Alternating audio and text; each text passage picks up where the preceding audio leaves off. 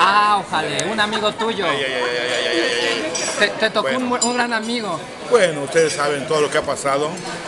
Primera que este señor, y que lo digo públicamente, un gran delincuente, asesino del pueblo, mafioso, traidor, y que el señor llevó a Iztapalapa a esconder a los Abarca, a sus compadres, y que fue el responsable de quitarme de Iztapalapa, que con toda la violencia me crearon todo, todo el poder para quitarme Iztapalapa, para robar mi Iztapalapa, para imponer a una señora espuria, delegada, impuesta por la mafia, una señora que no es ni mexicana, es salvadoreña, y que señor lo quiso nomás robar Iztapalapa, saquear Iztapalapa, ¿eh? andar en burro, que la gente no la quiere, primero porque la señora no, no, no hizo nada por Iztapalapa.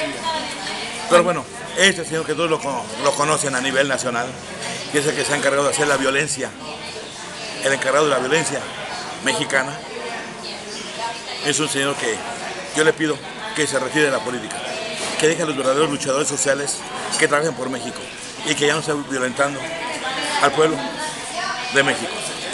Juanito, tú eres un personaje que tiene un peso específico en la política y eres muy odiado, pero también muy querido. Una persona con el peso que tú tienes, si consideras que Andrés Manuel López Obrador es un delincuente, ¿por qué no tú como ciudadano y con tu peso específico no has hecho una denuncia ministerial en contra de un delincuente? Las hice hace cinco años, pero desgraciadamente todo fue a la basura, porque ustedes saben que estaba Marcelo Ebrard como jefe de gobierno, Mancera como procurador, y ellos fueron los encargados de proteger a López Obrador.